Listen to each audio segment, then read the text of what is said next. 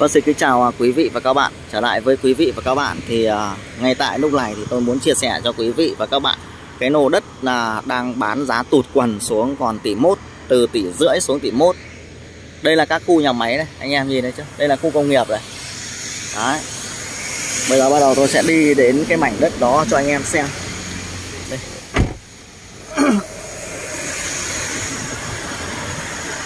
Toàn xe hàng, xe công nó chạy hôm nay trời à, hơi mưa mưa một chút. Đấy. ngồi trên xe, chia sẻ cho anh em để cho anh em à, lắm nắm được là đây là cái khu à, công nghiệp của Yên Bình. Đây là các cái khu nhà máy của đội Trung Quốc. Khu bên dưới kia là nhà máy Samsung. Cái nhà máy này thì một số đã đang hoạt động rồi. Và một số đang xây dựng này đấy, anh em nhìn thấy chưa? Đấy đang xây dựng. Chỗ này nó xây dựng mấy cái chục cái nhà xưởng như này. Cái nhà máy uh, theo kiểu như là vài nghìn mét. Kia là ngã tư cầu dẽo một đường ra uh, thành phố phổ yên. Một đường đi thẳng lên thì uh, đi lên uh, khu công nghiệp của điểm thụy. Cái khu này là khu đấu giá này. Anh em nhìn đây đây. Đây cả cái dãy mặt tiền này là đấu giá này. Đây các nhà máy thì à, đã đang mọc ở đây rồi. Đấy. anh em nhìn thấy chưa? Đây gọi là nhà máy. Gọi là xưởng cũng được. Nhưng mà nó xây nhiều lắm. Xây mấy chục cái này luôn. Đấy, xây mấy chục cái luôn. Kinh điển Đấy. Đấy, chạy dài dài tí vào trong này cái này có một uh, một tập đoàn nó xây cái này là của Trung Quốc. Xây hết như này luôn. Anh em thấy không? Đấy sướng chưa? Đấy, giải tít vào trong chưa những cái đường này là đường chính. Cái đường ra ngoài này là đường chính. Cái con đường này là đường chính hết. Hoàn toàn là đường chính. Những cái mặt này trước đấu giá hơn 30 triệu này. Mặt trong thì hơn 20 triệu. Đấy đấu giá Hồng Tiến này nhé đây là đất Hồng Tiến. Đây Đấy, hết đến đây bắt đầu là hết cái tập đoàn của cái đội bên này. Còn đến bên này là lại tiếp tục một cái đơn vị khác. Đấy, tổng ở đây Đấy. cái đơn vị này là, là một đơn vị khác một cái công ty khác. Đấy, đâu công ty bên này thì nó chảy dài hết ra đằng kia. Là một công công ty DBG này. DBG này, này. Công ty này thì cũng uh, chuẩn bị công nhân bắt đầu vào làm việc. Đấy, anh em thấy chưa? Rộng chưa? Bây giờ bắt đầu lại tiếp tục một cái công ty nữa sang bên này. Đấy, lại đang xây dựng gần xong rồi này. Đấy, khu bên này mấy quả đồi cái đợt trước keo trước đồi được giờ đang phá hết rồi. Đấy, nhà máy bên này tiếp theo Đấy, gần xong anh em thấy đang phê Đấy. nhiều lắm. Đây khu đất là nó ở sau khu bên này. Đi đi đi thẳng nữa đi. Kia là đường 47 kìa. Đường rộng 47 mét. Đấy. chia sẻ cho anh em anh em nhìn. Phê à, loài tơi phòi Đấy, cổng chính đây. Tất cả những cổng chính nó sẽ đổ hết về mặt bên này. Toàn bộ các cái công ty này là những cái cổng chính. Sau này mai những cái mặt đường này này nói thật với anh em là nó sẽ là mặt vip luôn. Cho nên là bây giờ thì chúng ta thấy là nó chưa có công nhân về đây, nó chỉ có công trường thôi.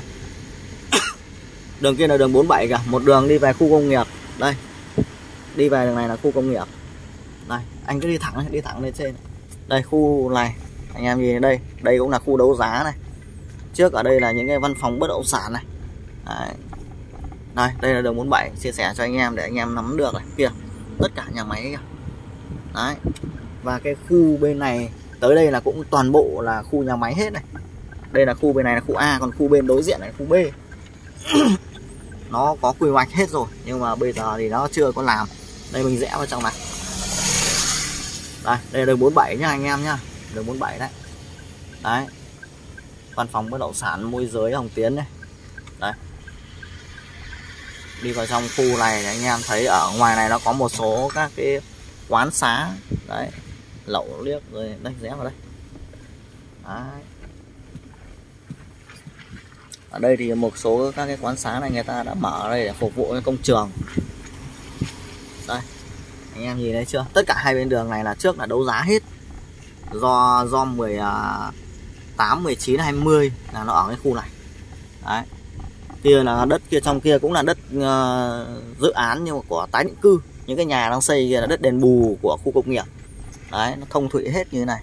Là những cái nhà đấy là toàn bộ là 300 mét thì người ta đã đền bù và xây dựng nhà rồi. Đấy.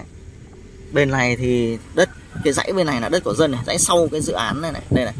Cái chỗ trước mặt đang đi này là những cái chỗ đất trống này là phân lô hết rồi. Nhưng mà đằng sau của nó là đất nhà dân. Đấy, dự án không lấy đến cái đất nhà dân đấy. Nó chỉ lấy đến cái mép này một lô thôi. Đằng sau nó có một cái ờ, đường bê tông. Nếu mà mua những cái lô ở mặt này nó sẽ hai mặt đường hai mặt đường. Anh em thấy chưa? Một số các cái cái xưởng này này kho xưởng này người ta đã mua ở đây người ta đã xây dựng ở đây rồi này. Đấy đấy là kho xưởng này. Cũng là cái đất mà trước đây ấy là của của dân. Cái kho là của dân còn cái đất bên này là của ấy à, dự án đấu giá. Đây này có những cái quán lương sơn quán này, này. Ở giữa cái khu như thế là đấu giá này. Ở đây thì khách khứa cũng khá là ok. Khu bên này là đất của dân này. Đấy, như chỗ những cái chỗ này đất của dân hết này. Bên vế đằng sau này, này là không dự án không có lấy đến đất của dân. Đấy. lúc đỉnh điểm ấy ở cái khu vực này ấy, những cái lô như lô ở đây ấy đây như cái lô ở chỗ này ấy, nó rơi vào tầm ở khoảng độ 17 18 triệu. Đấy. 17 18 triệu. Đây bên này anh em thấy chưa? Rộng mênh mông luôn chỗ này tất cả của nó nếu tính tổng của nó là uh, cả cái đất tái cư nó rơi vào khoảng độ hơn 2.000 2.000 căn. Đấy nhưng mà lúc đấu giá nó đấu có 1.000 căn thôi. Đây đường đây đường này cũng thông thủy lên đường 47 này. Thông thủy ra đường 261 này cái đường bê tông này này. Nó thông thủy hết. Đấy. Đây. Rồi đường này sau này mai nó thông sang bên kia nhưng mà nó làm đến đây thôi. Đây anh em thấy chưa? Đây, cái dãy này là trước là dãy 300 mét này. Đây, cái dãy bên này. Còn dãy bên này là dòm 6 dòm 5 dòm 6 là khu dãy bên này. Đấy, trước là nó bán lên tới tỷ à, tư, tỷ rưỡi, tỷ 6 là khu bên này. Đấy, anh em thấy nhá. Để anh em đánh giá được. Đấy, và hiện tại bây giờ đang có một cái căn ở cái dãy bên này. Đây, ở cái dãy bên này. Hiện tại bây giờ đang bán với cái giá tụt quần, đúng không ạ? Từ trên tụt xuống dưới còn có một tỷ mốt thôi. Là cái cái cái cái bên này. Bên này là đối diện vào trong cái dự án này. Cũng là đất của dự án hết. Này đấy anh em nhìn để ý nhé đấy, đường sau kia là đường 4 à, đường 261 kìa. Đấy tí nữa anh em đi đường này ra đường 261 luôn. Thì uh, cái nô bên này là 100 m 5 x 20 đấy giá gọi là đang so với cái lúc thời điểm đắt thì bây giờ đang rơi xuống tận à, uh, quần lót rồi. Đấy. còn bên này ấy, thì uh, nó là dom uh, 1, hai 2, ba 3, bốn 4 ở khu bên này Đấy. cho nên là anh em sẽ tính được là khi chúng ta đi đầu tư bất động sản chúng ta sẽ thấy được rằng là ở cái vị trí này nó cách những cái nhà máy kia nó chỉ rơi vào tầm khoảng độ 200 m 300 m thôi đi bộ được mà cho nên là chúng ta làm nhà ở làm nhà trọ hay làm nó tóm lại là phục vụ ở những cái khu công nghiệp ở gần đây thì rất là ok đấy đây cũng đường xá của nhà dân anh em thấy chưa nó tuyệt vời luôn. Nếu để mà nói thì nó rất là tuyệt vời. Không có mẹ gọi là xấu xa cái gì cả. Đấy. trước ở đây ấy, năm 2020 những cái dãy bên kia lô 100 mét nó bán thấp nhất là tỷ tư. Tít trong này kìa. Đấy. Nhưng đến bây giờ đây ra đường này là ra đường 261 đây 261 luôn đây này. Đấy, từ cái chỗ vị trí này mà ra đường 261 thì nó rơi vào tầm ở khoảng độ 5 60 mét. Đây ra đường 261 luôn này.